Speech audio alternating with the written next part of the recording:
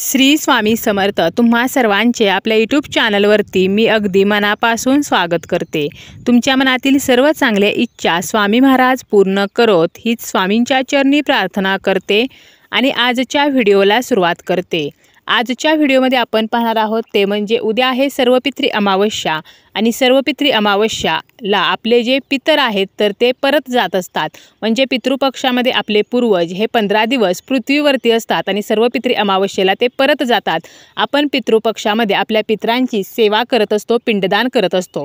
ज्या कोणाला आपल्या पित्रांची तिथी माहीत नसते तर अशा व्यक्तींनी त्यांचे पिंडदान जे आहे आपल्या पूर्वजांचे श्राद्ध जे आहे तर ते सर्व सर्वपित्री अमावस्येला जरी केले तरीसुद्धा चालते.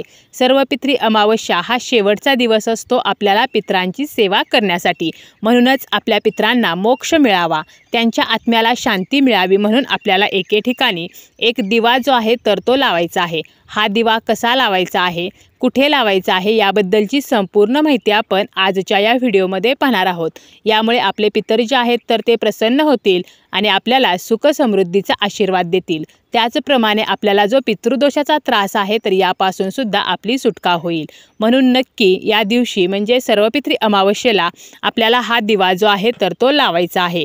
याची संपूर्ण माहिती आपण पाहणारच आहोत पण त्यापूर्वी तुम्ही जर चॅनलवरती नवीन असाल आणि पहिल्यांदाच माझे व्हिडिओ पाहत असाल तर चॅनलला सबस्क्राईब करा. व्हिडिओ माहिती पूर्ण जर वाटला तर व्हिडिओला लाईक करा.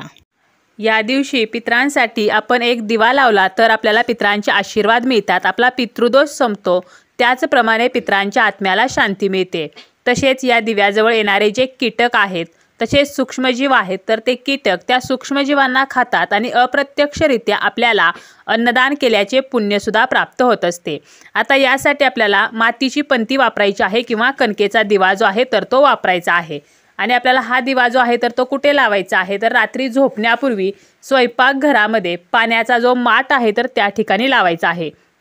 आता माठ जो आहे तर तो तुमचा काळा माठ असेल तरी चालेल किंवा तांबड्या रंगाचा असेल तरी चालेल. आणि अगदी जरी माठ नसेल आणि चिनी मातीची छोटीशी भरणी असेल तर तुम्ही ती पाण्याने भरून तुमच्या किचनमध्ये ठेवायची आहे.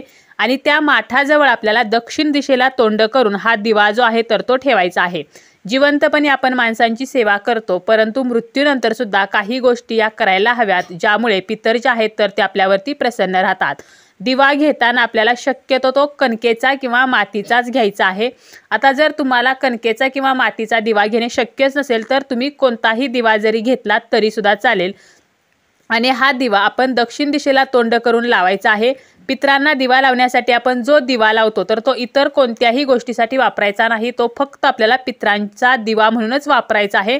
कोणत्याही शुभकार्यामध्ये तो दिवा आपल्याला वापरायचा नाही. आता आपण या दिव्यामध्ये तेल जे आहे तर ते कोणतं घालायचं आहे? तर तुम्ही कोणतंही तेल घाला किंवा तुम्हाला शक्य असेल तर तुम्ही मोहरीचं तेल घाला. आणि जर तुम्ही इतर तेल घातलं तर त्या तेलामध्ये तुम्हाला पाच काळे उडीद जे आहेत तर ते टाकायचे आहेत. आणि वात दक्षिणेला करून तो दिवा जो आहे तर तो प्रज्वलित करायचा आहे. जेवढा जळेल तर तेवढा तो दिवा जळू द्यायचा आहे. दिवा जेव्हा विजेल तर त्यानंतर किंवा दुसऱ्या दिवशी त्या दिव्यामधील उडीद आणि वात बाहेर फेकून द्या आणि दिवा जो आहे कणकेचा असेल तर तोही आपल्याला झाडाखाली किंवा पाण्यामध्ये फेकून म्हणजे विसर्जित करायचा आहे. आणि तुम्ही जर पंती वापरलेली असेल मातीचा दिवा वापरलेला असेल तर स्वच्छ करून ठेवा आणि त्यानंतर तुम्ही पुन्हा जेव्हा कधी पित्रांसाठी दिवा लावाल तर त्यावेळेला तुम्ही वापरू शकता. तर अशा प्रकारे तुम्ही जो दिवा आहे तर तो आपल्या स्वयंपाकघरामध्ये पाण्याच्या भांड्याजवळ पित्रांसाठी लावू शकता. फक्त वात दक्षिणेला करायची आहे. आता दुसरा दिवा आपण कुठे लावू शकतो? तर संध्याकाळच्या वेळेला आपल्याला हा दिवा लावायचा आहे तो म्हणजे पिंपळाच्या झाडाखाली. पिंपळाच्या झाडाखाली आपण जर दिवा लावला तरी सुद्धा आपला जो काही पितृदोषाचा त्रास आहे तर तो कमी होतो. आता आपल्याला हा दिवा कसा लावायचा आहे? तर प्रदोष काळी म्हणजे साडेसहा ते साडेसात या वेळेमध्ये आपल्याला पिंपळ वृक्षाजवळ जायचं आहे. जाताना एक तांब्याभर पाणी घ्यायचं आहे. त्या पाण्यामध्ये थोडीशी साखर घालायची आहे. आणि आपल्याला कणकेचा चौमुखी दिवा जो आहे तर तो तयार करून घ्यायचा आहे. आणि यानंतर काय करायचं आहे? तेथे गेल्यानंतर आपल्याला सर्वप्रथम हा दिवा लावायचा आहे. आता हा दिवा लावताना बघा काय करायचं? दिव्याखाली थोड्याशा फुलांच्या पाकळ्या किंवा तांदूळ ठेवायचे. त्यावरती हा चौमुखी दिवा ठेवायचा. त्यामध्ये चार वाती ज्या आहेत तर त्या घालायच्या. यानंतर चार वाती आपण दिव्यामध्ये घातल्यानंतर त्यामध्ये आपल्याला तेल जे आहे तर ते घालायचं आहे. मोहरीचं तेल शक्यतो वापरा किंवा तिळाचं तेल. परंतु नसेलच तर कोणतंही तेल वापरा आणि त्यामध्ये आपल्याला थोडेसे मोहरीचे दाणे टाकायचे आहेत किंवा उडदाचे दाणे जरी टाकलेत तरीसुद्धा चालतील. तर अशा प्रकारे हा दिवा आपल्याला प्रज्वलित करायचा आहे. या वातीची दिशा जी आहे तर ती आपण चार वाती घातलेल्या आहेत. त्यामुळे चारही दिशांना वातीच्या दिशा येणार आहेत. आणि हा दिवा लावल्यानंतर आपण जे पाणी नेलेलं आहे तर ते पिंपळाच्या झाडाला आपल्याला अर्पण करायचं आहे. यानंतर आपल्याला त्या पिंपळाच्या झाडाला हळदी कुंकू अक्षता फुलसुद्धा अर्पण करायचं आहे. आणि या पिंपळाला आपल्याला आवर्जून काळे उडदाचे दाणे जे आहेत तर ते अर्पण करायचे आहेत. आता काळे उडीद जर तुमच्याकडे नसतील तर मग तुम्ही त्याऐवजी काळे तीळ जे आहेत तर ते अर्पण करू शकता. यामुळे काय होणार आहे तर आपला शनिदोष दूर होणार आहे. आपला पितृदोष जो आहे तर तो सुद्धा नष्ट होतो. आपले दारिद्र्यसुद्धा नष्ट होते. आणि यानंतर आपल्याला त्या पिंपळाच्या झाडाला अकरा प्रदक्षिणा घालायच्या आहेत आणि या प्रदक्षिणा घालताना आपल्याला पित्रांचं स्मरण करायचं आहे. तसेच ओम नमो भगवते वासुदेवाय हा मंत्रसुद्धा म्हणायचा आहे.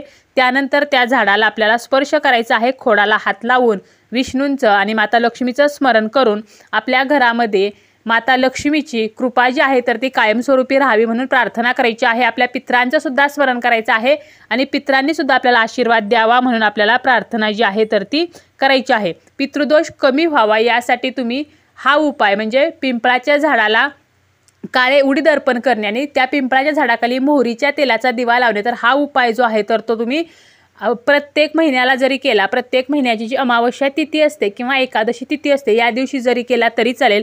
पिंपळाचं झाड जे आहे तर त्यामध्ये लक्ष्मीचा वास आहे श्रीहरी विष्णूंचा सुद्धा वास आहे. त्याचप्रमाणे पिंपळाचं जे झाड आहे तर ते पूर्वजांचं सुद्धा निवासस्थान मानलं जातं. तर एवढं महत्त्व या पिंपळाच्या झाडाला आहे त्यामुळे आपल्याला एक दिवा जो आहे तर तो पिंपळाच्या झाडाखाली सुद्धा लावायचा आहे.